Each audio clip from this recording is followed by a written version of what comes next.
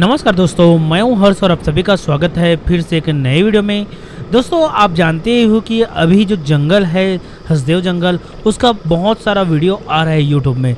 दोस्तों, आज हम उसी जगह के लिए बचाने के लिए यह वीडियो आप लोगों के सामने लेकर आ रहे हैं। दोस्तों, आप देखे होंगे अभी मेरे स्टार्टिंग में कि किस प्रकार से पेड़ों को काटा जा रहा है और कोयला खदान के चक्कर में कैसे कैसी स्थिति यहाँ पर आ चुकी है। आदिवासी लोग को अपने ज़मीन और घर और सभी को आपको छोड़ने को बोल रहे हैं। दोस्तों, अडानी कंपनी के द्वारा यहाँ पर कोयला खदान बनाना है। उसी के कारण यहाँ पर पेड़ काटा जा रहा है।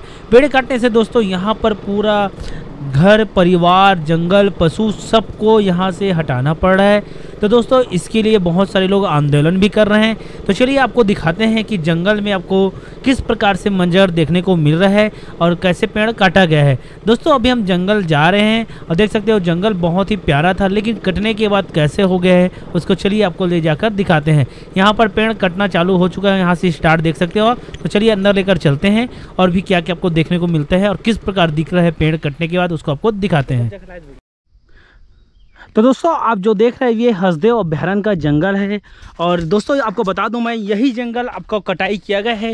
रातों रात बिना ग्रामीणों को कुछ बताए और प्रशासन के द्वारा यह पेड़ काटा गया है। तो दोस्तों, आप देख सकते हो, इतना बड़ा बड़ा और इतना पुराना पेड़ को काटा गया यहाँ पर देख सकते हो, यहाँ पर देखिए, ऐसा लग रहा है कि लहू निकल रहा है पेड़ की जड़ों से। देख सकते हो आप, यहाँ पर देखिए, इसको मशीन से काटा गया है। ये पूरा यहाँ पर देख सकते हैं, एक, दो, तीन पेड़ यहाँ पर काटा गया दोस्तों। मैं ड्रोन से दिखाता हूँ, रातों रात यहाँ पर लगभग 300 से 400 पेड़ काटे गए हैं और इसको बचाने के लिए आपको आंदोलन भी किया जा रहा है, उसको भी दिखाएँगे। दोस्तों, हसदेव का जंगल बहुत ही खूबसूरत और पुराना जंगल है। इस जंगल को बचाने के लिए आप हमारे साथ आइए, मैं जैसे सहयोग कर रहा हूँ, वैसे आप सब लोग कीजिए।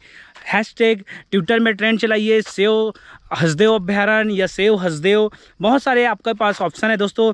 आजकल आप फेसबुक इंस्टाग्राम ट्विटर तो चलाते ही हो। तो बचाने के लिए सब साथ आइए और दोस्तों फैमिली के बीच भी इसको शेयर कीजिए ताकि हसदेव का अपना जंगल बचा रहे। यहाँ से आश्रित, इस जंगल पे पशु, पक्षी, जंतु सभी लोग आश्रित रहते हैं हम जंगल से।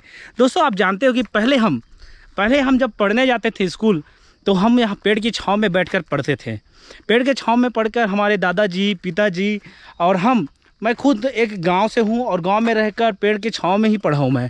दोस्तों, पेड़ के छाँव में ही रहकर सब कुछ काम करते हैं। पेड़ हमसे बहुत कुछ देती है। पेड़ हमें दो फ़सल देती है। मान लो फ़सल जैसे बता रहा हूँ आपको मऊहा आपका आम, इमली, बहुत सारी चीज़ हमें पेड़ों से मिलती है। तो पेड़ से हम आश्रित रहते हैं। दोस्तों, इसको बचाने के लिए बहुत सारे लोग को एकजुट होना पड़ेगा और इसको बचाना पड़ेगा। आप देख सकते हो, इसको देख दोस्तों कुछ समझिए और सोचिए कि इस पेड़ का हालत, इसको छोटे से बड़े करने में लाखों साल, हज़ारों साल लग जाते हैं। लेकिन इसको काटने में सिर्फ़ दस मिनट भी नहीं लगता दोस्तों। तो सोचिए, एक पेड़ की कीमत कितनी होती होगी जिसको छोटा से करके हम बड़े किए रहते हैं। तो आइए साथ मिलकर हसदेव को बचाने में जुड़िए। मैं सबसे आग्रह करना चाहता हूँ कि आप सभी लोग अपने दोस्तों के साथ, फैमिली के साथ शेयर कीजिए और हसदेव का जंगल बचाने के लिए सब आगे आएँ।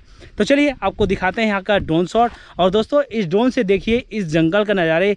मैं आपको एक जंगल दिखाऊँगा और एक कटा हुआ पेड़ का जंगल दिखाऊँगा। आप लोग खुद ही सोचिए कि कैसा रहेगा हमारा फ्यूचर। हमारे आने वाली पीढ़ी क्या जंगल देख पाएँगे या नहीं, आप हमें कमेंट कर कर ज़रूर बताइए। और देखिए, जंगल के ये नज़ारे और आँख, मैं तो देख रहा हूँ यार तो दिल से एकदम अजीब से रिएक्शन हो रही है दिल में। कैसे कभी कभी तो आँसू निकल जा रहे हैं, वैसे वाली फीलिंग आ रही है। तो आप सोच सकते हो जंगल में आकर कि कैसे लग रहा होगा। तो चलिए, और भी दिखाते हैं आपको।